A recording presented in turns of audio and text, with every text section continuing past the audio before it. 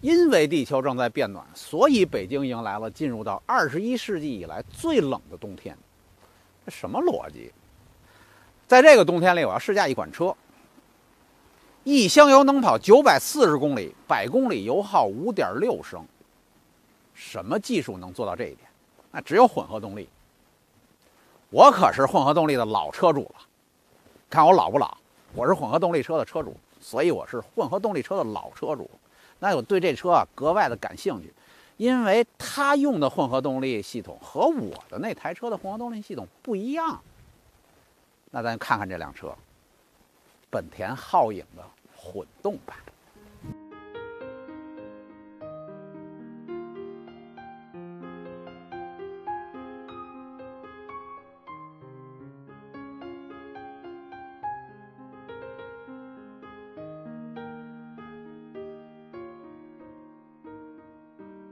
欢迎收看夏东评车，皓影混合动力版。皓影这款车啊，我可能试驾了好几回了，所以啊，咱就没必要对这台车啊进行啊车型上面的介绍了。可是你说你为为什么你还要试驾？就是因为它是混合动力的车。我这一个老混合动力的车主啊，我是第一次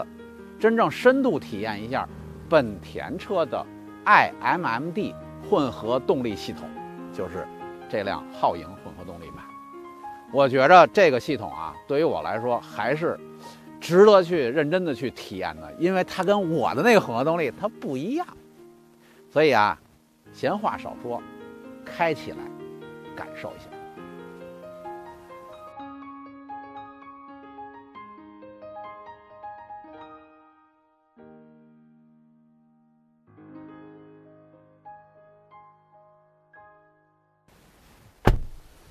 我们把皓影混动呢停了整整一夜，在夜间呢，北京的气温大概不到零下十度吧，零下七八度。然后呢，早上起来我们启动一下，你看现在的外界温度是零下三度。那当我把它启动之后呢，你看发动机没有任何的运转，发动机没有启动，为什么呢？因为我的混合动力系统里面的电量啊还有一多半。那么在这种情况之下呢？它的电量足够驱动电机，让你起步，向前行驶。那在这个过程当中啊，它不需要用发动机来启启动，所以它的发动机是不启动的。可是呢，因为太冷了，发动机需要一定的预热。那你要想给发动机进行预热怎么办呢？其实挺简单的，就是在这个情况下，你打开空调啊，你打开空调，那空调开始运转的时候，它使用的是发动机那个十二伏的电瓶系统，那个系统。没办法支撑空调单独运转，所以它必须要启动发动机。那或者呢，就是摁下运动模式。你把它放到运动模式，让发动机运转一段时间之后啊，它的温度啊各方面达到基本达到要求的时候，它又熄火了。它现在就告诉你，你可以很安全的正常的起步了啊，用电还是用电起步。所以我觉着这台车它的特点就是这样，只要能让它用电的时候，它尽量会让它用电啊。那当我们启动之后啊，开始起步走起来之后啊。其实我的建议就是，不要开着空调，把空调关上，把电热座椅打开，保持身体呢一定的温暖。那么走起来之后啊，过一会儿，等发动机各方面等等运转都非常正常的时候，你再开空调啊。因为你早期把空调打开，只能增加发动机的负荷。等它真正的热起来之后，它运转全部都变得最流畅的最佳状态的时候啊，你再给它加负荷，那样是对发动机最好的一个保护。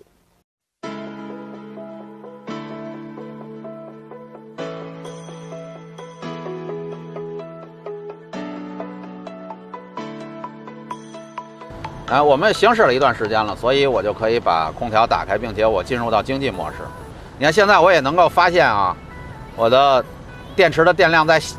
一开始车预热之后，电池电量有一个升高，然后接着有一段持续时间的下降，现在又又开始恢复，电量开始升高了。本田的 iMMD 上这发动机的介入啊和撤出都是绝对平顺，完全没感觉。你只能在发动机高转高转速运转的时候听见它发动机运转的声音，基本上是没有任何震动的感觉了。就是介入的那一刹那，你是完全无感啊，所以特别平顺，这是它的一个很重要的优势。另外就是这 Honda Sensing 这套系统啊，呃，给我的感觉就是它非常的好用，而且它不会给你增加任何的额外的干扰啊，或者说你还需要什么额外的特别的技巧去使用它，非常方便，用起来很直很直观。呃，另外一点呢，就是它很保守，它调的非常的保守。那什么概念呢？就是你比方说它车道居中保持吧，这车道的弯曲度不能太大，你这一路看过去，你直接能看到弯道的外边，你看不到弯道转过去的那个出口的位置。如果在这种状态下，它不会给你有这么大幅度的转向的控制，那它就会贴近车道线，然后方向盘开始来回摆动啊，来提示你，让你自己去控制方向盘，并且它的仪表上会给你亮起一个黄灯，告诉你车道偏离了，你要自自己控制。而且它现在都是汉字的系统，所以它直接出来的那个文字啊，很容易阅读，而且字儿很大。再有一个就是前碰撞预警做得非常好，就是当你前方的车明显在减速，而你没有意识到你没有跟着减速的话，它立刻这个黄灯就会闪起来，啊，马上对你进行提示啊。要变线的时候，你侧方有车的时候，它也会给你一些提示，而且它给提示的过程都比较的柔和，它尽量不会让你感觉到它在接管你的，或者说跟你抢夺控制权，而是保持一种纯辅助的状态。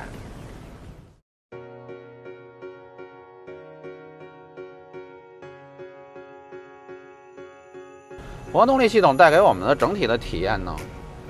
它还有一个很重要的点，就是它很大程度上提升了你驾驶时候的舒适性，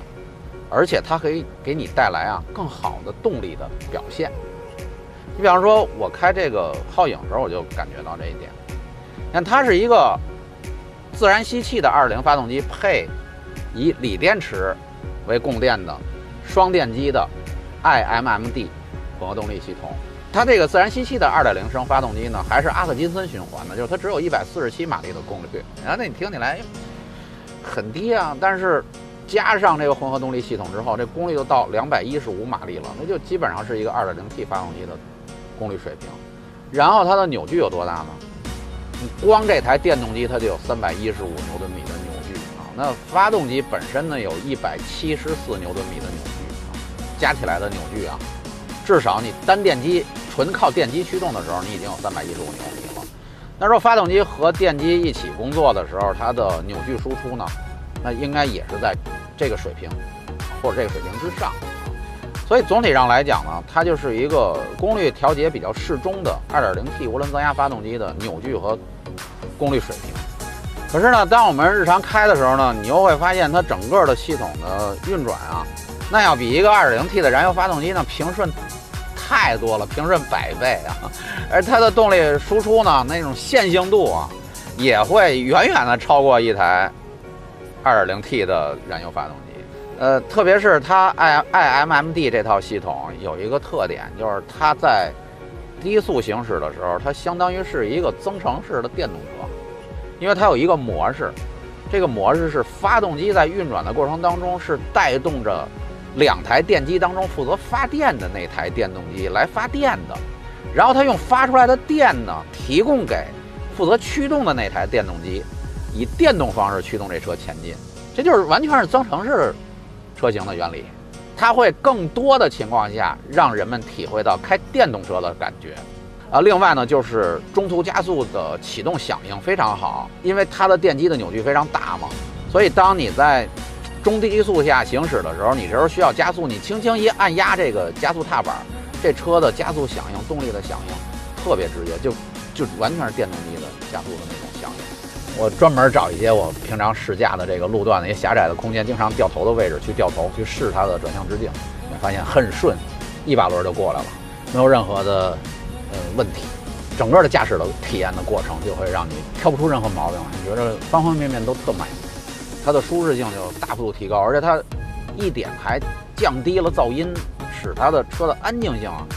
大幅度提高。那我开皓影啊，在城市里大部分时间这车都特别安静。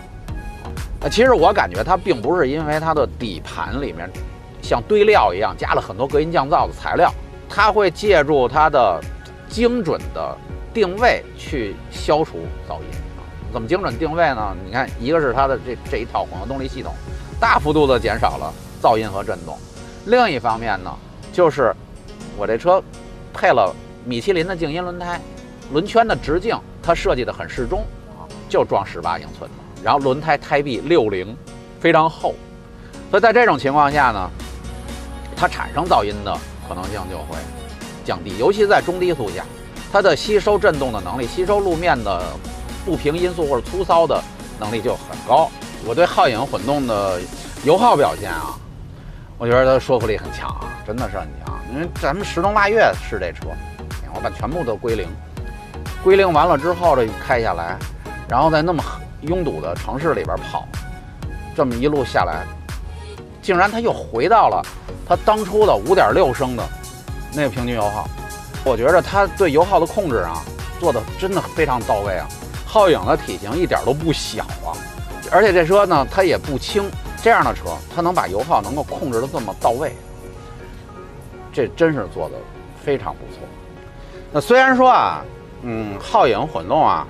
它除了日常普通模式之外，还有三个模式：一个运动模式，一个节能模式，还有一个呃纯电动模式啊。但是我觉着它加上日常模式，它一共四种模式啊，我觉着。基本上我们百分之九十九点九的时候，你直接就是用节能模式就行啊。即使是跑山路，你想操控节能模式都足够使了，因为它的电动系统的动力的衔接，啊，扭矩的输出表现什么各方面都太好了。它还有一个手动的换挡拨片儿，但是它不是换挡用的，它干嘛用的呢？它是能量回收的强度，就是。电机的反带制动的强度的调节，在什么状态下好用呢？就是在运动模式下，当你把运动模式摁下去之后呢，哎，仪表上的呃上面给你提示一个红色的灯带。经济模式的时候，节能模式的时候它是绿色灯带，它一转换，啪，红色灯带亮了。这个时候，如果你用换挡拨片加减拨加，它它就会降低这个电机反向制动的强度，它取决于你驾驶的激烈程度。如果我驾驶的激烈程度很高，我接近弯道的时候，往往是以相当快的速度在接近弯道，那我就会增加我的制动强度。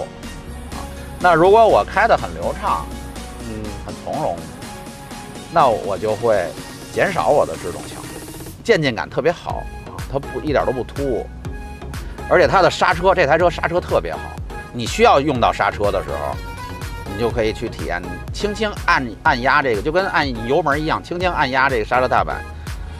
它的制动力非常有效，而且特别的柔和渐进，没有任何唐突感，但是极其有效，特别喜欢它这个刹车的控制。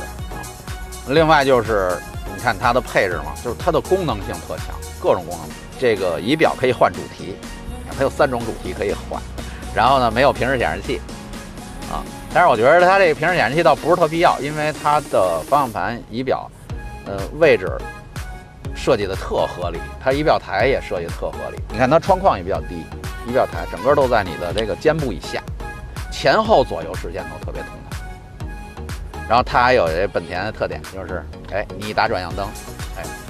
中间屏幕给你显示右侧的盲区啊，然后你往左一打转向灯，什么也没有，左边的需求实际并不大，所以就省了。这就是日日系车的 造车风格。皓影混动版这个车型，我试驾的还是相当深度的，因为我对这个混合动力系统非常感兴趣嘛，所以我开了差不多整整两天的时间啊，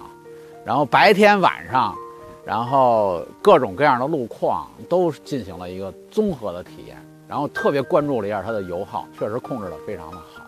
另外，整台车的主飞灯安全系统啊。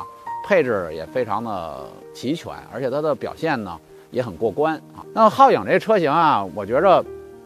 嗯，它还是相当成功的一个车型，因为之前只有一个本田 CR-V，那皓影作为它的姊妹车推出首年，它就实现了十五万左右的销量啊，这说明市场对它是非常认可的。基本上大家觉得这是一台很均衡的，而且呢，呃，相较于过去有明显进步的车型。但是我觉着啊，我还是非常推荐啊，大家选择混合动力版的皓影。那为什么这么说呢？因为它其实它的售价现在也已经很容易被人所接受了，容易被人能够呃负担得起了。它整体上来讲，它的售价差不多二十三四万。可是如果你要考虑到市场上存在的优惠呢，其实二十万出头你就可以拥有了。之前我们买混合动力车的时候，主要考虑的是油耗，就是说，你混合动力车会比普通的燃油车贵啊，那有一个差价。那么我通过省油，我省多少公里数的油，我才能把这个差价给顶回来啊？主要都是在考虑这一点。其实啊，混合动力车它省油是一个很重要的一点，但是它是整体的体验当中啊的一部分。还有非常重要的一点。就是混合动力系统的加入，能否给我们在驾乘的体验当中，比方说动力的输出、动力的表现，比方说它动力整体的平顺性，比方说它给我们带来的这种舒适性，方方面面，是不是有更好的体验呢？皓影的混合动力版，就是一个很典型的例证，证明了它能够给我们带来确实优于燃油车的更好的体验。你把这个更好的体验再加上混合动力的省油的体验，我觉着就完全值回啊！它混合动力版相对于普通燃油版的那个差价。好，感谢收看，欢迎关注 T 车帮，只为爱车的你。